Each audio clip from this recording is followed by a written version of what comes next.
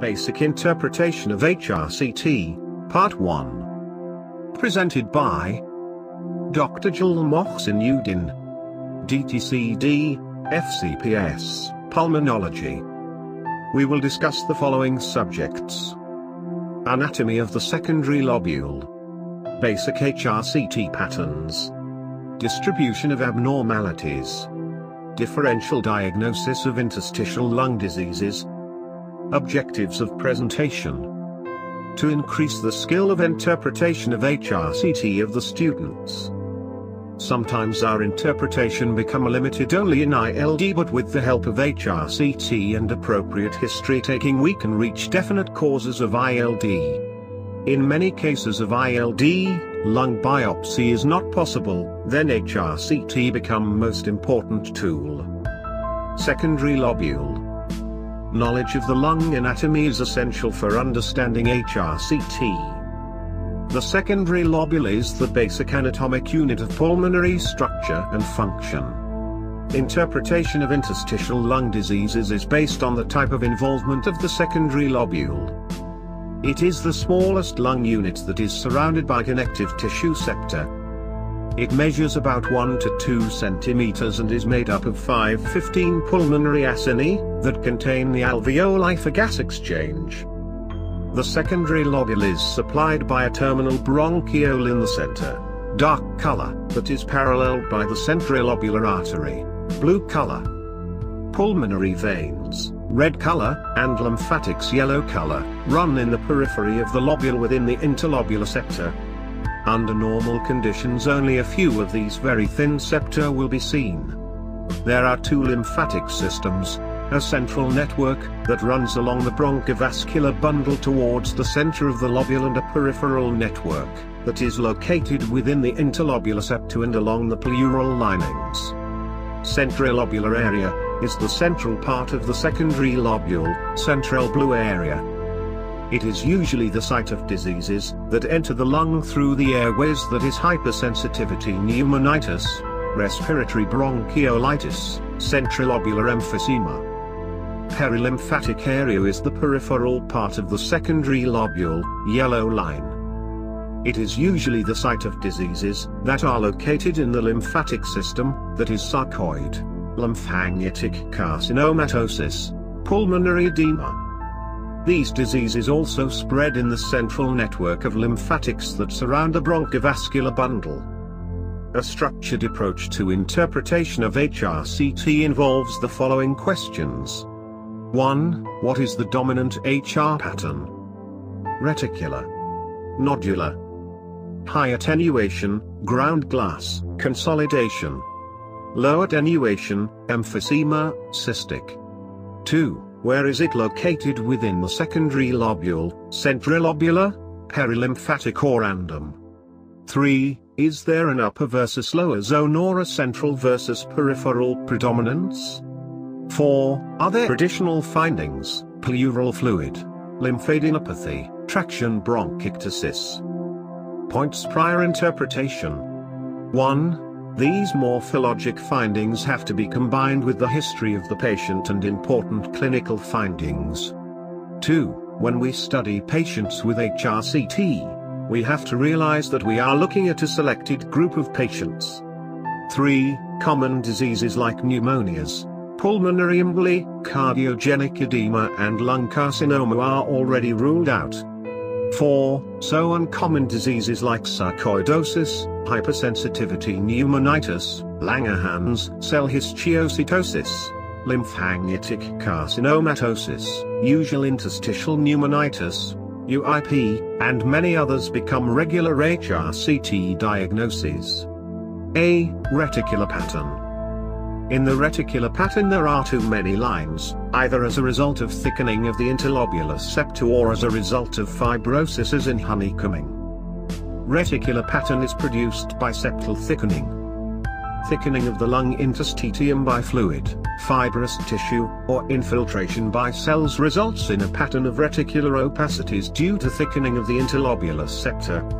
Septal thickening two types. Smooth septal thickening is usually seen in interstitial pulmonary edema, Kerley B lines on chest film.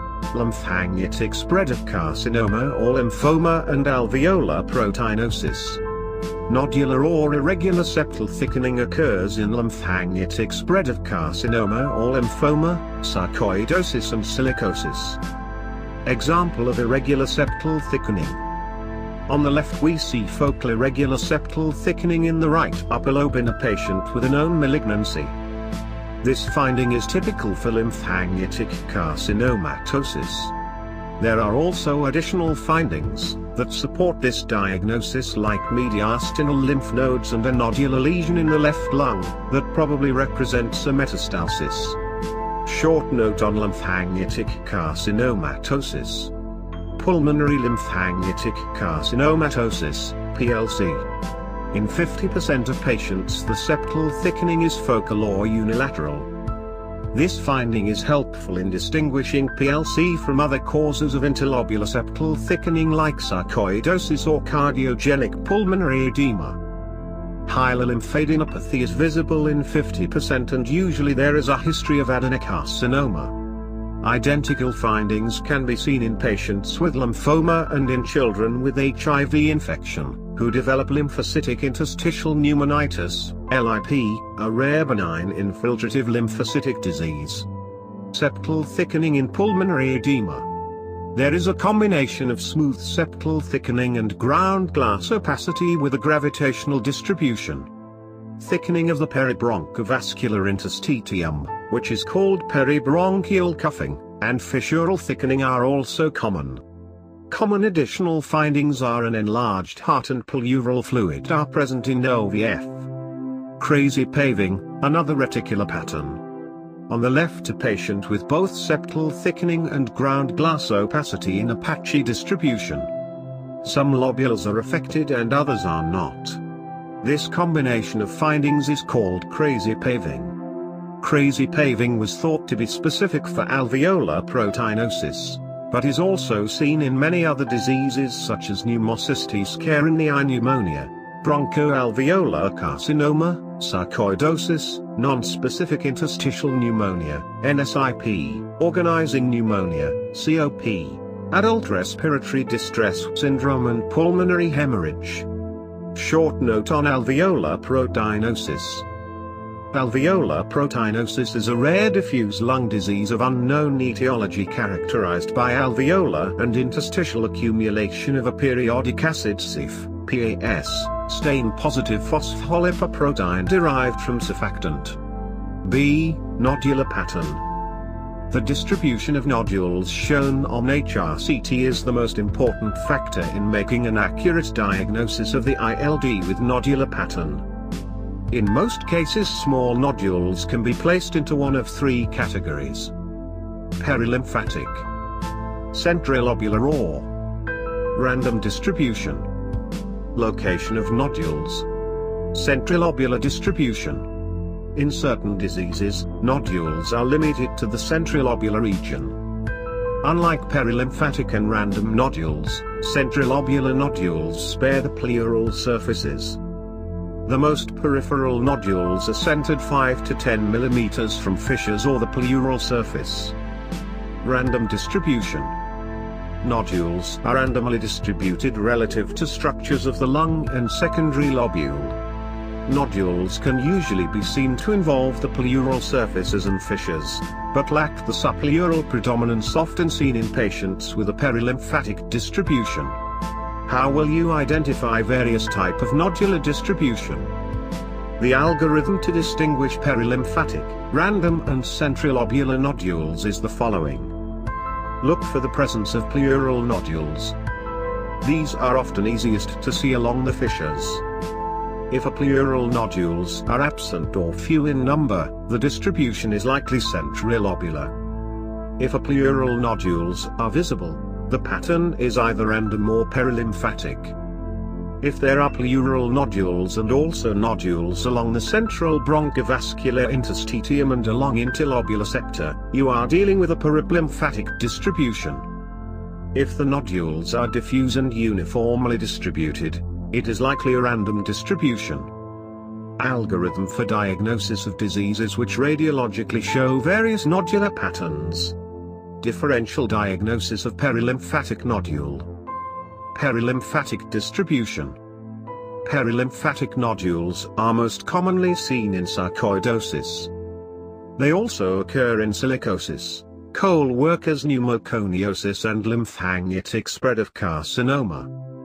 Notice the overlap in differential diagnosis of perilymphatic nodules and the nodular septal thickening in the reticular pattern. Sometimes the term reticular nodular is used. Radiological features of sarcoidosis in HRCT. On the left a typical case of perilymphatic distribution of nodules in a patient with sarcoidosis. Notice the nodules along the fissures indicating a perilymphatic distribution, red arrows. Always look carefully for these nodules in the subpleural region and along the fissures, because this finding is very specific for sarcoidosis. Typically in sarcoidosis is an upper lobe and perihilar predominance and in this case we see the majority of nodules located along the bronchovascular bundle, yellow arrow. On the left another typical case of sarcoidosis.